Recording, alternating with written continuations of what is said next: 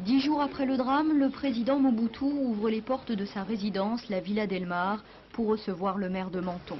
L'élu, tout comme le Quai d'Orsay, insiste pour obtenir la levée de l'immunité diplomatique de l'auteur de l'accident. Une mesure également demandée par l'ambassadeur lui-même. Après un quart d'heure d'entretien dans un salon de la villa, le conseiller spécial du chef de l'État transmet les condoléances du président Mobutu aux familles, ainsi que sa position sur la requête de la France.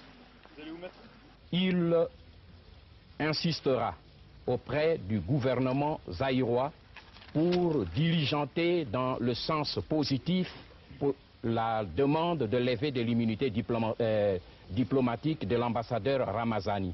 Et ceci devra suivre la procédure légale au Zaïre, c'est-à-dire la position du gouvernement.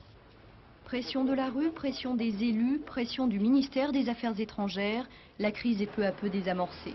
Après l'entretien de la villa, la procédure légale est dans les mains du gouvernement zaïrois. Pour la famille Lenoir qui a perdu son fils de 13 ans, c'est un premier pas vers la justice.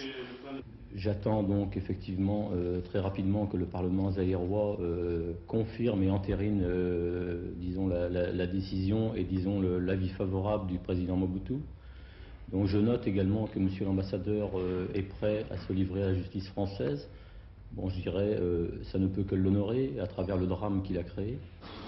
Lundi prochain, le président Mobutu invitera à nouveau le maire de Menton pour le tenir au courant de l'évolution de cette procédure diplomatique, une situation qui pourrait faire jurisprudence dans les conventions internationales.